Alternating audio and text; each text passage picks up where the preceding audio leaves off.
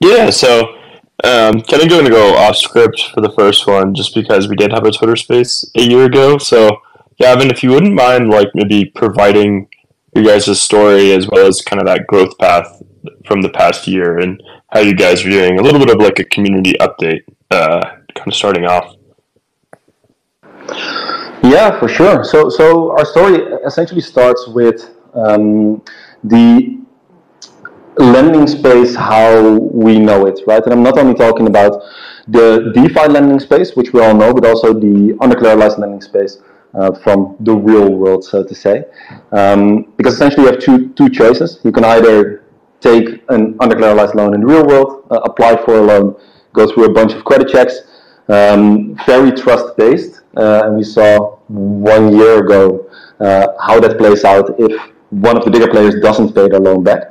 And because of that, undercollateralization has quite a negative notion to it. Um, whereas in reality, the problem with that is the trust basedness, right? You, you rely on the other party to pay you back. You're trusting that they pay you back. And if they don't, then you're the one with the problem, if the loan is big enough.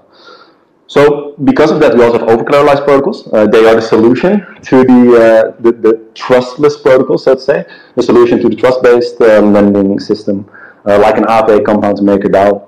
Um, the downside of those is that you have to have the capital in the first place. So if you want to take out a hundred thousand dollar loan, you have to first give them one hundred and twenty thousand um, dollars. It's not only very um, very like as a borrower, it doesn't really make sense for most borrowing use cases, but it's also extremely capital inefficient for you as a lender because you're not only competing with other lenders like you would usually do, but every borrower is forced to be a lender in the first place as well. So you have supply and demand, but everyone is forced to be a supplier, which is why the rates are inherently low on those types of platforms. So once we saw that uh, issue, we were looking just like a lot of other builders, uh, looking for a solution for that, like the holy grail, finding something that is both under collateralized from a user perspective, but at the same time trustless, right? That doesn't um, that doesn't give in on the security side of it. And then we came up with the escrow smart contract. So um, essentially, it allows you to instead of sending the loan out to yourself, we to your own wallet, we create a new dedicated smart contract on chain that is solely yours, you're sole owner of it, but there are safety features in place. Uh, so for example, walled garden, and in creating this escrow smart contract, uh, we can put your collateral there, or you do it yourself, you put your collateral there, the borrowed funds go there, so if you have 100k collateral, you borrow 200k, it all goes in that escrow smart contract, and it allows for safe, trustless under collateralization. And that was our that was our main mission. Um, when we launched back in January, initially, understandably, there was in the months before that there was quite a lot of pushback from uh, a lot of from a lot of people who had that negative connotation still on their tongues, right? From the undercollateralization as, as we've seen in the past in the trust-based lending systems, uh, thinking that it would be exploited within the first couple of months. We did focus a lot on security uh, with Delta Prime. We can get a little bit deeper into that later as well. Um, but as we have developed over the past year have shown that we can handle a lot of liquidity. Right now, we have $40 million in total in TVL. We have about 5,000 users across uh, two different chains on Avalanche uh, with $28 million. Um, this trust is this trust is really beginning to build, right? And that takes time, um, a lot of time, a lot of effort.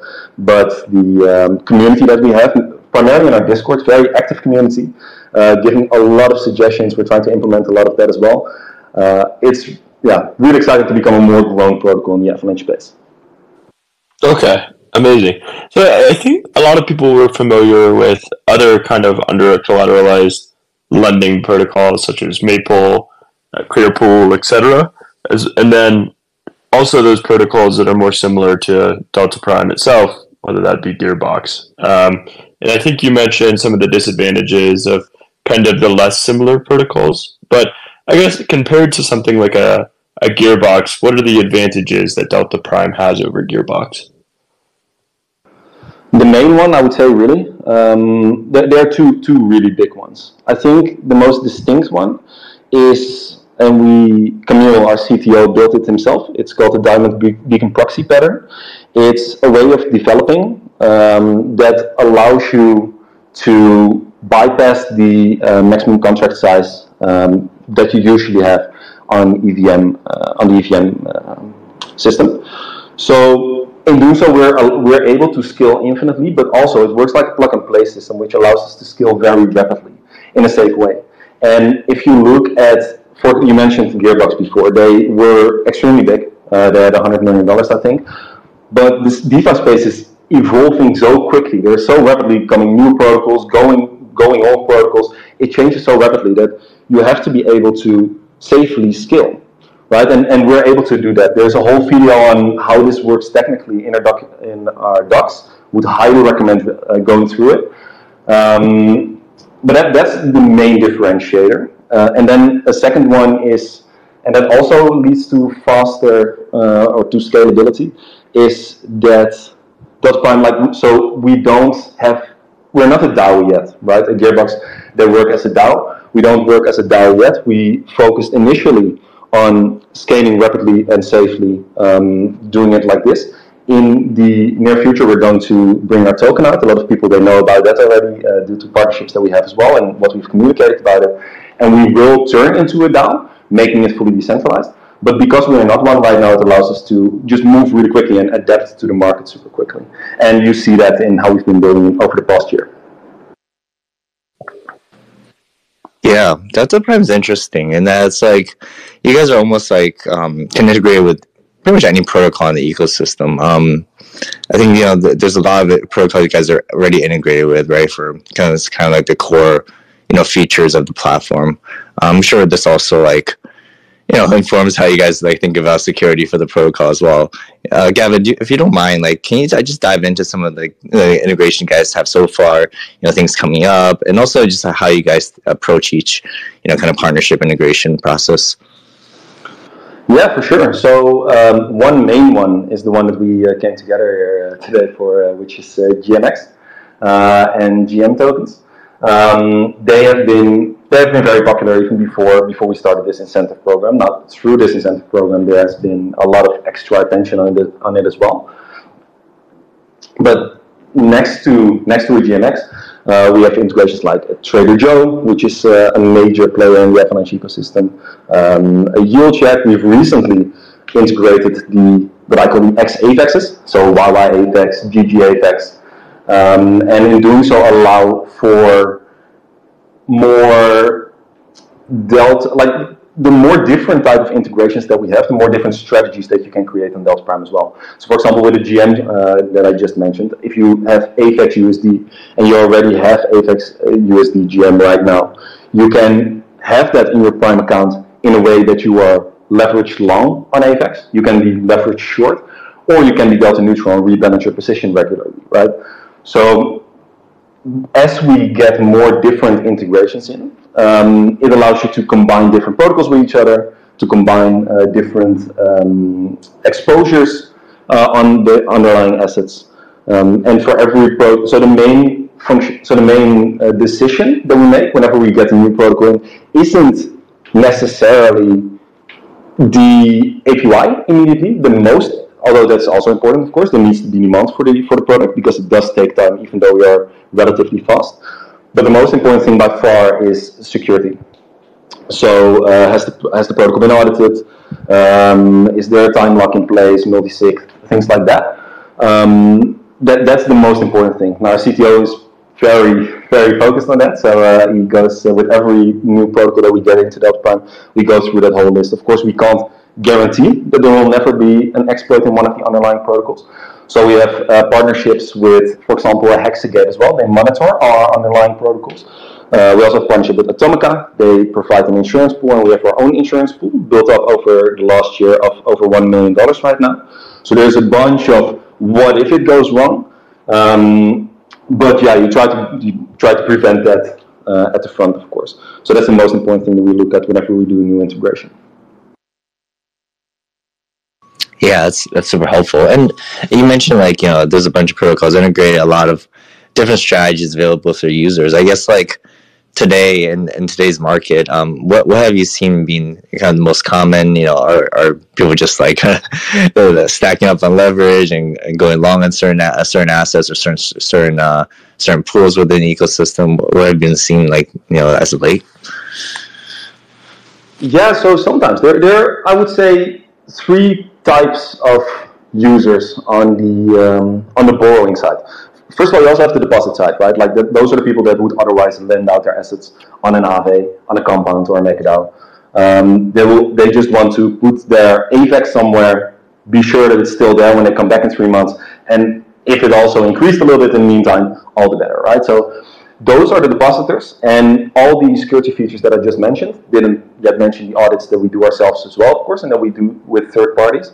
Um, but all that is primarily to protect that, to make sure that the money comes back, because that's that's the most important thing.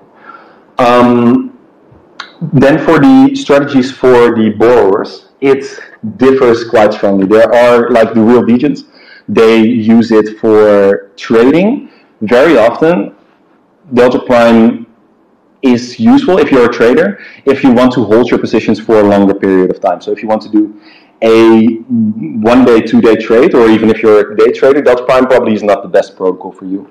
Whereas if you want to hold a position, let's say you are bullish on AVAX, and you want to hold your AVAX position for one to three months, you might as well have it in DeFi as well, right? Uh, whether you do it through a liquid staking token or whether you do it uh, through, for example, a GM uh, token or through GMX. Um, if you have a leveraged position, you might as well put it to work. And that's something that Delta Prime offers that really no other protocol offers like us. So you have those users. I myself, um, and if you've been uh, in the Delta Prime, uh, if you've been in our Discord for a while, you know that I'm a big fan of Delta neutral strategies.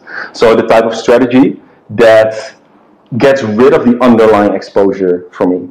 At the same time, I do also have a bullish portfolio, so I definitely I won't miss out. No worries. But Delta Prime is so it, it is very powerful, right? Especially, for example, with this GM incentives program. We've done a similar program somewhere else that ended now, but you can use Delta Prime. For example, yeah, take take GM, take AVAX USD, right? And you see that there is because you can see the composition of the uh, GM token on Delta Prime, like in the UI you see, 50% AVAX, 50% USD, uh, USDC. At the same time, I see that the open interest, also something that you can track on Delta, in the Delta Prime UI directly. It will be there from uh, on Avalanche from tomorrow, so that's a new feature actually. The open interest is 60%. So the counterparty is 60% bullish. What you can do is be 60% bullish yourself, provide that liquidity through to GM, and then you can leverage it up with 3, 4x. I myself tend to do 4x and have and actually lower the risk as compared, lower the price risk specifically, as compared to only providing GM, uh, AVAX GM directly. So you have a lower price risk if you do that. At the same time, you're gathering not only the incentives that we're giving out with this program, but also extra fees that's being generated by the GMX community right? So you're generating compounded fees. You, have, you don't have the compounded price risk. You don't have the leverage price risk. And as a plus, if you look at what GMX has been doing over the past week since we started this program, GMX V2 has doubled in TVL, and 12 million of that comes from Delta Prime, right? So, and moreover, 9 million of the 12 million comes from lenders. So lenders that lend their assets out on Delta Prime, borrowers, they're borrowing this 9 million, they're putting it in GMX, and all of a sudden, GMX, their pools increases in size, which allows for bigger trades as well. So not only do you help yourself with creating a strategy like this, but you also help the overall ecosystem. GMX is a huge protocol. It has a very good brand, a very good name. It is the type of protocol that attracts whales from other ecosystems. So supporting a protocol like this to move smoothly from their V1 to their V2, I think that only benefits the whole chain and, and the DeFi ecosystem as a whole. Um, so yeah, just just to uh, emphasize that there are very different things that you can do. If, if you're bearish on the market for whatever reason, or you become bearish on the market, you can also uh, swap your debt. So let's say initially you were bullish, uh, and that's what a lot of our users do. That's why we do have a lot of volume going through Delta Prime. Uh, you're bullish on the market, you have um, only USDC borrowed, minted all AVAX USDC with that, and now you become bearish, then you can swap your debts from USDC to AVAX. Now you have a, a short on AVAX. I'm not recommending anything clearly, uh, definitely not a short, but like that's that's the, the, freedom that you have with that. That's something that Delta Prime gives, and that's something that we see that our users uh, very happily uh, make use of.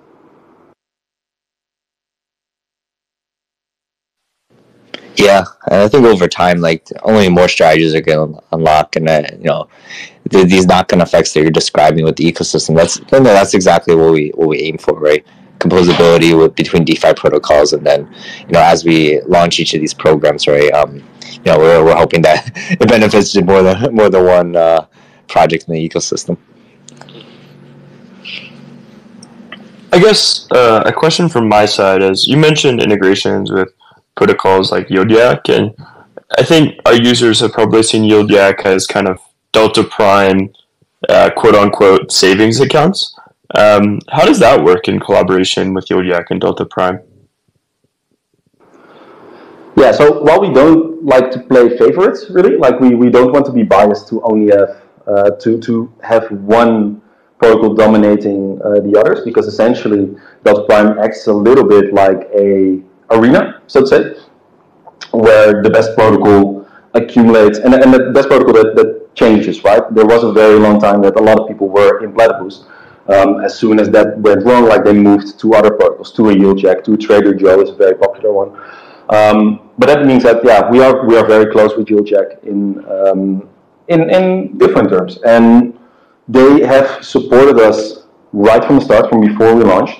So a big part of their community is also uh, part of the Delta Prime community, and what that leads to and that, that, that's why we why we love like collaboration, like strong bonds with other protocols. What that leads to is that whenever we want to make an integration, let's say we want to integrate a wombat pool or a poolside pool, right? And we want uh, and they're giving away uh, incentives as well that you could auto compound, which is something that YieldYak we, does. We can go to YieldYak and ask them, hey, is this something that you can integrate in your in your product as well?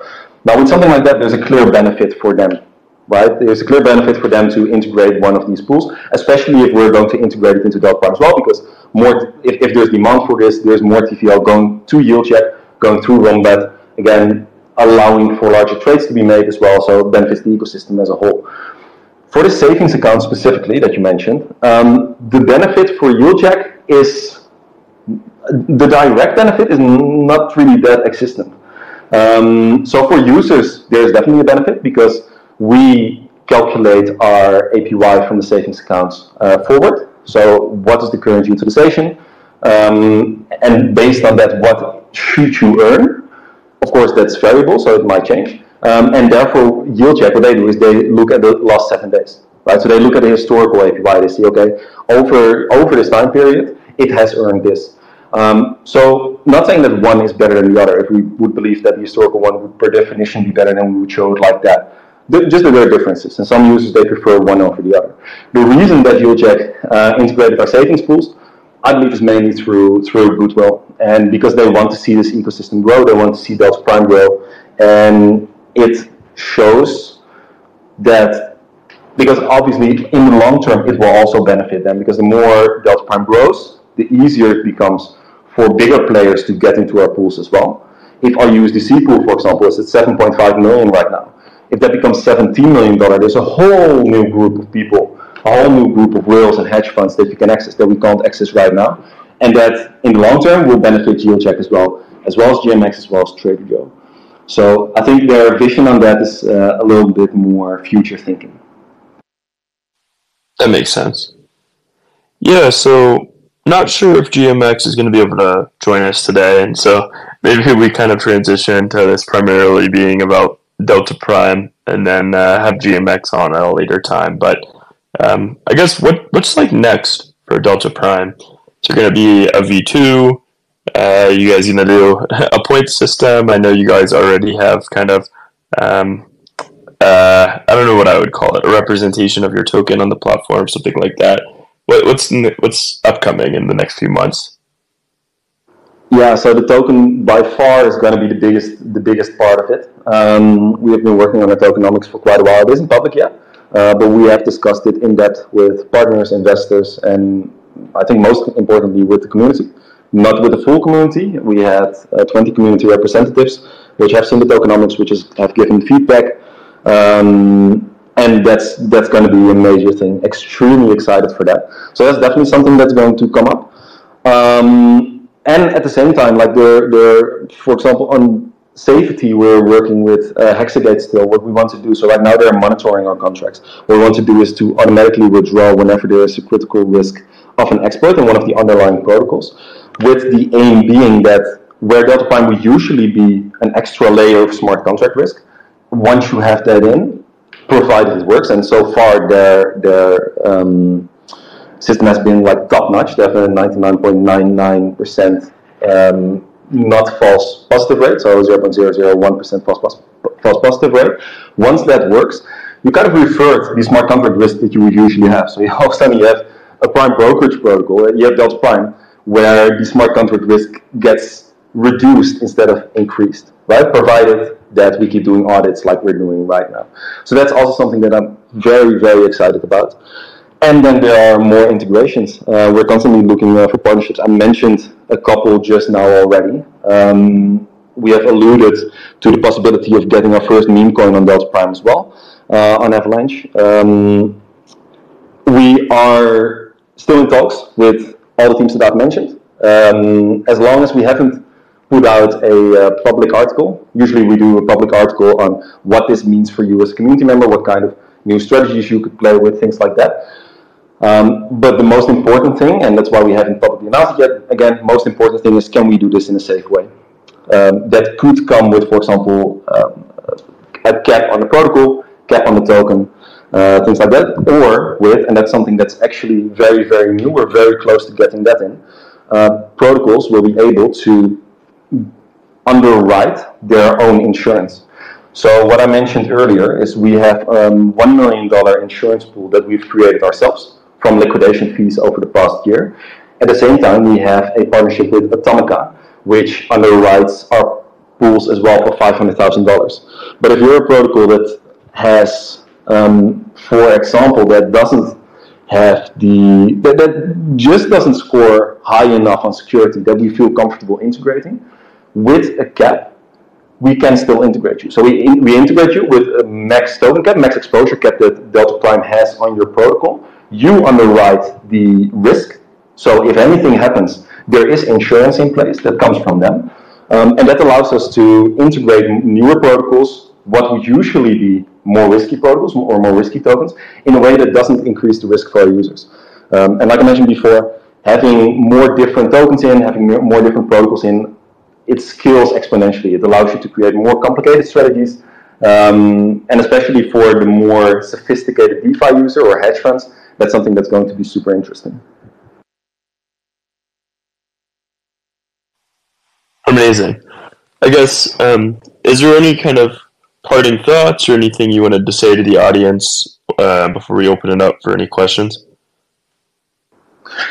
Yeah, I guess for, it, it's a shame, of course, that GMX isn't here because I really would have loved to dive to dive into the uh, incentive program that we've got that we have going on right now.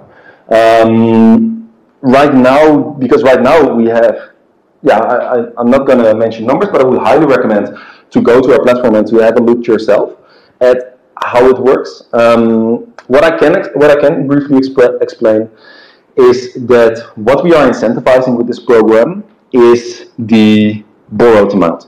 So we are here primarily to unlock liquidity from what would usually lie idle in an Aave and a compound, right? Like all that liquidity that, that doesn't do anything, that doesn't provide anything to the wider ecosystem. That's why we're here, to unlock that and to play that on to our partners. Like I mentioned before, the 9 million that's in the GM pools right now. If we provide $12 million of TVL to GM, or mm, uh, more accurately, if our users provide $12 million to GM, and 9 million of that is borrowed funds, regardless of how they've borrowed it, regardless of whether they're leverage long, leverage short, delta neutral, that $9 million, that's what's incentivized. And in doing so, we know that from the, um, that the only amount that's, we're, that we are incentivized, so the only amount really that uh, Avalanche and GMX are contributing to here is the value add that Delta Prime brings to GMX. And you see that in the results so far. Um, and you see that as a user as well. If you have a little bit of a higher risk tolerance, if you are with, if you are in terms of leverage, um, or if you're a more sophisticated user and you're able to use high leverage in a way that um, doesn't necessarily increase your risk, like those users they get they benefit the most from a program like this. So I would highly recommend to um, look at it. Would have loved to dive a little bit deeper into that, but we might be able to do it at a later point. Uh, but definitely give give the shot right now while uh, while we're still early.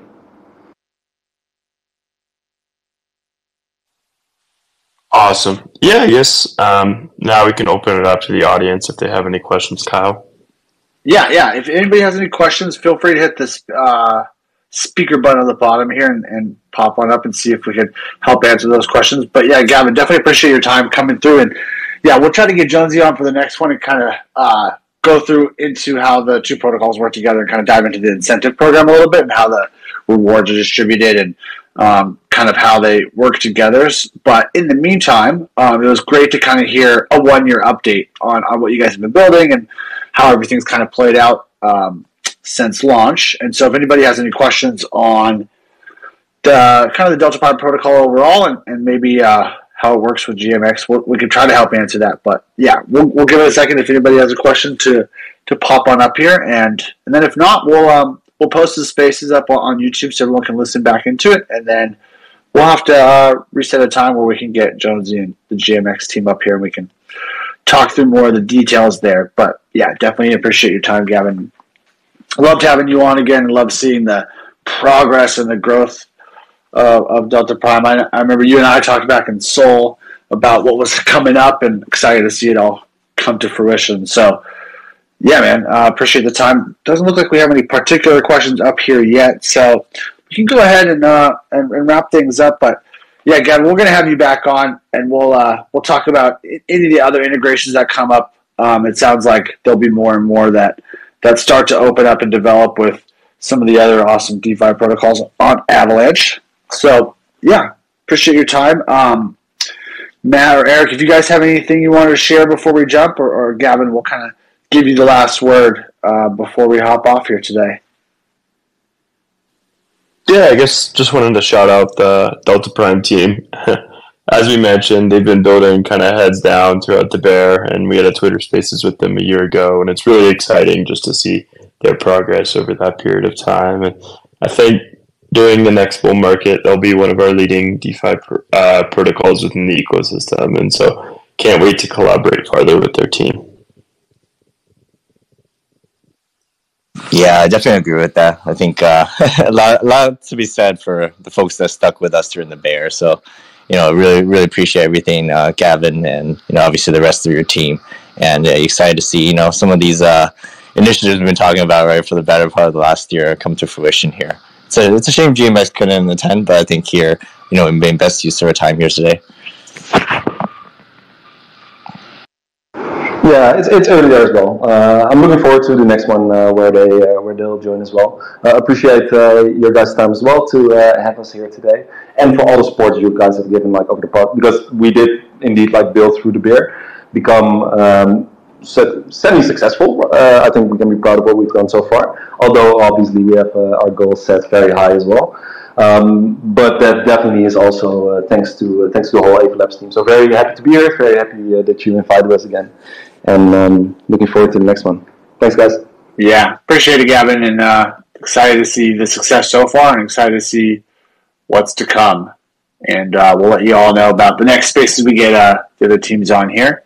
And we're going to be continuing this unlocking DeFi spaces series. Uh, hopefully, going to be doing one one a week with various protocols, infrastructure providers, security tools, dev tools, all around kind of the DeFi space. So keep an eye out for more on that and uh, and then we'll uh, we'll see you all on the next one. So appreciate your time and hope everyone has a good rest of your day or evening wherever you're at. And uh, Eric and Matt, thanks so much again.